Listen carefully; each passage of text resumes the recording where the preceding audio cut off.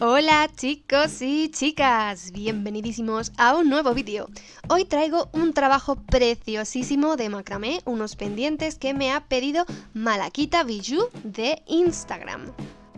Son unos pendientes que si no sabes mucho macramé quizá deberías de empezar por otros, pero bueno, que también los puedes intentar porque tienen un nivel un pelín avanzado y tienes que entender para dónde van los hilos, pero bueno, si sabes algo de macramé, pues esto es un reto súper chulo para para empezar necesitas pues un aro, en mi caso mide 3 centímetros y medio, te recomiendo que ya lo compres hecho porque va a ser mucho más sencillo. Y ahora necesitas 12 cabos de 30 centímetros y 2 de 40 de hilo de macramé. Coge primero el que tiene 40 centímetros, lo doblas por la mitad y tienes que hacer un nudo alondra. Fíjate muy bien en la imagen, es muy sencillo. Coges uno de los que miden 30 a hacer otro nudo alondra. Vas a hacer todos estos nudos, ¿vale? Y en primera y última posición vas a poner los que miden más, los que miden 40 centímetros. Cuando ya lo tengas hecho, vas a dividir 7 por un lado y 7 por otro para encontrar la mitad. Coge el primero, que es uno de los más largos, recuerda, lo llevas hacia la derecha, ¿vale? Y sobre él vamos a hacer el nudo a la derecha de macramé. Es muy sencillo lo pasas por encima del que tienes sujeto y a través de ese agujerito que tienes metes el resto del hilo y tiras fuerte. Esto sería la mitad del nudo. Volvemos a repetir, lo pasamos por encima, lo coges bien con el dedo y a través de ese agujerito metemos el resto del hilo y tiramos bien. Ahora cogerías el que está en segunda posición lo pasas por encima del que tenemos sujeto con el dedo y a través del agujerito metemos el resto. Apretamos bien y repetimos. Ahora debes coger el que está en tercera posición, siempre sigue el orden, lo pasas por encima del que tienes en el dedo y a través del agujerito metemos el resto del hilo. Repetimos. Recuerda, cada nudo se hace dos veces y haciendo este mismo nudo tienes que llegar hasta el final. Si no sabes muy bien cómo hacer este nudo yo te recomiendo que lo hagas antes para que no te quede nada raro en tus pendientes nuevos.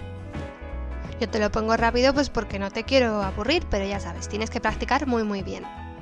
Y cuando llegues al último te quedará algo así, una especie de montañita eh, toda pegada a ese aro. Ahora tienes que apartar pues todos menos el del centro para tenerlo localizado para que no te moleste y vamos a empezar con el otro lado.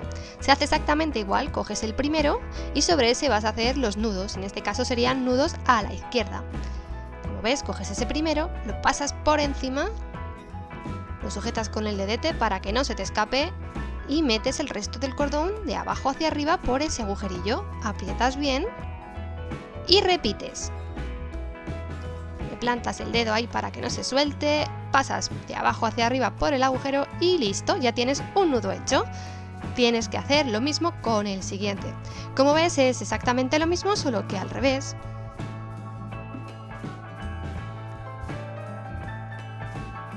Aquí lo más importante es no perder el que es el hilo guía, que es ese primero que pasamos hacia el otro lado, y ir siguiendo pues la secuencia de hilos, no mezclar porque así nos van a quedar cosas raras y pues no queremos eso. Y de llegado a este punto, pues tienes que seguir haciendo nudos hacia la izquierda hasta completar esa fila. Recuerda que eran pues 7 alondras que teníamos pues, hasta que lleguemos al centro. Yo te lo pongo rápido, ya te digo, para no aburrirte, pero eh, puedes volver tantas veces como quieras hacia atrás si es que no te queda muy claro este nudo. Y cuando llegues al centro, pues tendrás algo así. Yo lo tengo separado para que tú lo veas, pero tienes que juntar esas dos partes, ¿vale? y vamos a anudar estos dos hilos que tenemos. Como ves, el hilo que está a la izquierda pasaría por encima del que está a la derecha.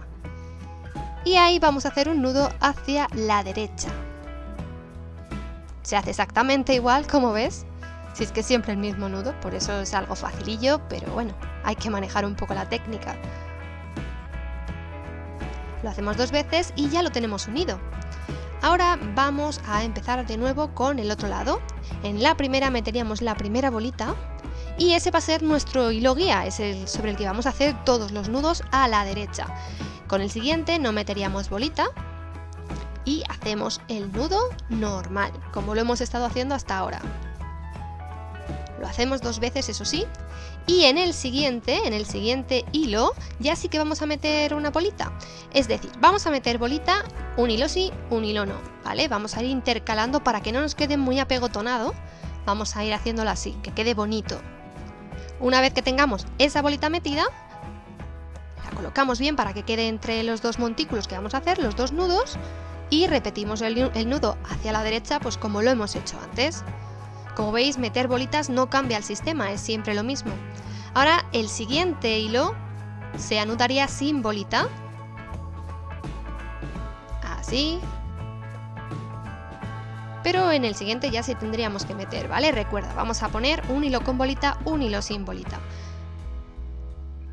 Y lo más importante pues, es esa bolita que te quede pues, en el centro, que no te quede montada dentro del nudo porque entonces pues, va a quedar muy feo. Como verás, a la vez que haces el nudo, pues se va colocando, pero siempre es bueno tener en mente que esa bola está ahí, que se tiene que ver bonita. Y vamos a terminar pues esa fila como hemos hecho antes hasta el centro, ahora ten en cuenta que en ese centro tenemos pues esos dos que son más largos y tenemos que parar justo ahí. ¿Ves? Aquí ya he llegado al centro, tengo el que sería el hilo guía y luego tengo el que ya estaba en el centro, que es el hilo guía de la, línea anterior, la de arriba. Pues mira, lo vamos a cruzar, vamos a hacer que ese hilo guía de la línea de arriba se quede por debajo y vamos a hacer pues estos nudos hacia la izquierda. ¿Para qué? Porque aquí ya vamos a empezar a hacer una especie de circulito y necesitamos que el hilo haga esa forma. Lo repites dos veces y te quedaría algo así ya cerradito. Ahora vamos a empezar con el lado izquierdo. Igual, empezaríamos metiendo una bolita y eh, con ese mismo hilo, el hilo de la bolita, vamos a hacer el resto de nudos. Vale, en este caso son nudos a la izquierda. Y como ves, pues el sistema es exactamente el mismo. Siempre siguiendo ese orden, que es muy importante, pues cogeríamos el hilo que le corresponda, meteríamos la bolita cuando necesitemos meter bolita y pues hacíamos el nudo exactamente igual que siempre. Yo creo que ya a estas alturas del vídeo estarás un poco harto de la explicación, pero bueno, necesito que esto lo entendáis muy bien, así que bueno, prefiero explicar los primeros por lo menos un poquito que se vean lentamente para que no os liéis demasiado. Y sobre todo que luego me mandéis fotos de, de, este tipo de pendientes que los habéis hecho a vuestra bola y os han quedado maravillosos, que luego me quedo yo súper alucinada. Bueno, mira, y cuando llegues al centro, recuerda que ya tienes uno que viene del que hicimos arriba, que estaría en el centro, ese le vas a pasar por encima del hilo guía que teníamos en esta línea y vas a hacer con el hilo guía de esta línea un nudo hacia la derecha. Recuerda, cada nudo se hace dos veces. Ahora tienes que localizar muy muy bien los seis hilos del centro. Vas a tener dos cortitos y cuatro más largos. Con los más cortitos les vas a poner una bolita a cada uno, vamos a empezar con el de la izquierda y fíjate, vamos a volver a cruzar. Pasas el de la bolita por debajo del que estaría en segunda posición y vas a hacer un nudo hacia la izquierda. Exactamente igual. Se repite dos veces y muy atento, vas a pasar ese cortito hacia la derecha, el otro largo hacia la izquierda, los cruzamos de nuevo, ¿ves?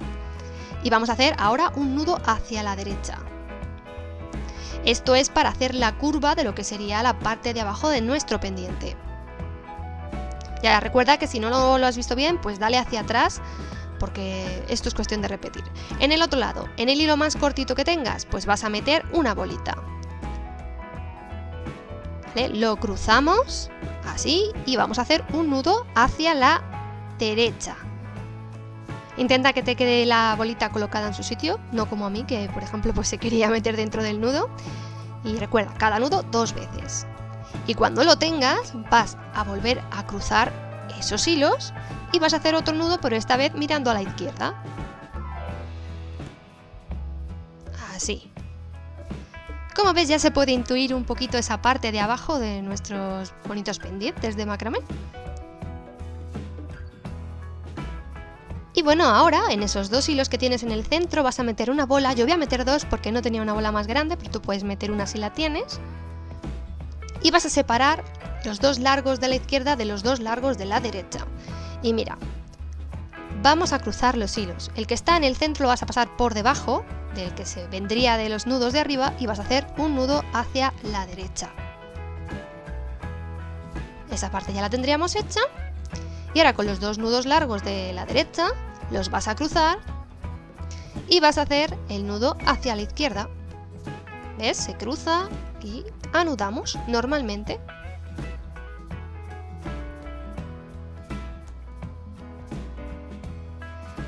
Y ya solamente nos queda por rematar la parte de abajo. Lo cruzas y puedes hacer tanto un nudo a la derecha como a la izquierda. Eso ya depende de lo que te guste más, eso daría igual.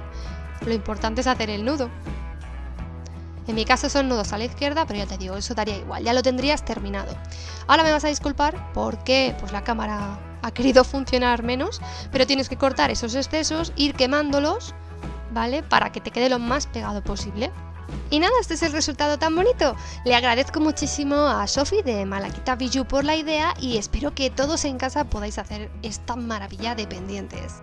Si te ha gustado este vídeo porfa déjame un super like que me hace siempre muy feliz. Si es tu primera vez en este canal, suscríbete y dale a la campanita para que YouTube te avise cada vez que hay un vídeo nuevo los sábados.